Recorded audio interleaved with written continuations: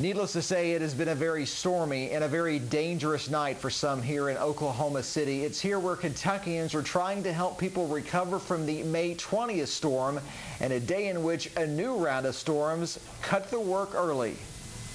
The skies over Oklahoma City took on an ominous look Friday afternoon as Red Cross volunteers were told to cut their workday short. And they're talking about trying to have everybody in roughly about 3 o'clock or so. They're already pulling some of the groups off because of the weather's changing again. Summer storms are serious business in Tornado Alley, and volunteers know that all too well especially from what they've seen these past couple of days. More aware of what can really happen. You don't think that your house can just be totally blown away, and it can be. Russell Hoff of Lexington is on his first disaster relief mission for the American Red Cross.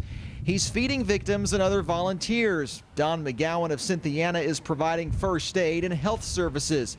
He's taken back by the resiliency of the people that have lost everything and from hearing about their survival stories. And they could actually feel the tornado go over their house. They were physically holding down the door of their shelter. Knowing that they've seen something they may not ever see again. You're looking at solid miles straight of nothing but piles of debris. Some of the houses look are just toothpicks. You know, they're digging through their stuff and trying to find stuff, and it's all covered with insulation. It's all wet, and and basically they have nothing left. I mean, the house is gone, their stuff is gone. I chose to ride out the storm here in my hotel room near the Tinker Air Force Base. Now, through the evening tonight, there's been lots of rain, heavy winds, hail, and some tornadoes. In fact, some of these tornadoes, they said, had winds in excess of 150 miles an hour. In Oklahoma City, Phil Pendleton, WKYT. The tornado hunters were driving on Highway 81 near El Reno. We want to get cool tornado videos, but I think really we're out there to warn people. Friday night, they saw several twisters come right at them. Hold on, brothers.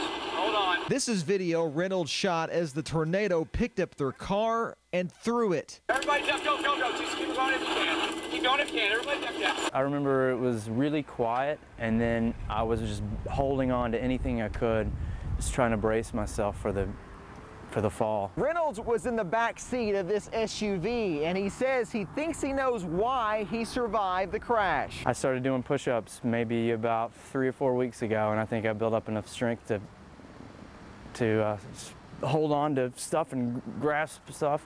I don't know why. I never, I've never worked out before. All three passengers had their seatbelts on, and everyone walked away. I called my dad in Whitesburg right after it happened, just to let him know that I was alive. Reynolds says the purpose of the tornado hunt is to find the deadly tornadoes and let people know they're coming their way. But Friday night, the deadly twister nearly found them. In El Reno, Oklahoma, Phil Pendleton, WKYT. Well, two weeks ago, a tornado cut a mile-wide path of destruction through Moore, Oklahoma, and among the victims, police officers, many of which have not had an opportunity to clean up their own property. That's where Lexington police officers answered the call. It's just a great experience, something I've always wanted to do. Patrol Officer Jerry McIntyre says he is finding lots of joy this week and a lot of hard work. Just the joy of knowing we're helping somebody. That's, that's all. You know, we get out and say, hey, we went down there and we helped out. Nearly a dozen Fraternal Order of Police officers knew that Moore officers wouldn't ask for anyone's help, so they decided to volunteer their services anyway. We've been working 16, 18, 20 hours a day and haven't been able to take care of their own families and their own property. In fact, uh, the house we were just we just visited before He'd worked 169 hours in the past two weeks. Some houses they spent just a few minutes piling up debris.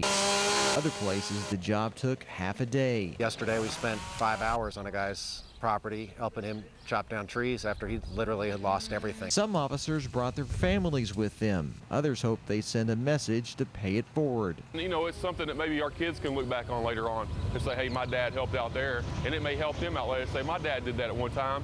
And maybe when they're old enough and they're able to go volunteer and go help out, maybe they'll do the same thing. The group will be leaving here on Wednesday. When all is said and done, they will have helped about 20 members of the 100-member police force here in Moore. In Moore, Oklahoma, Phil Pendleton, WKYT.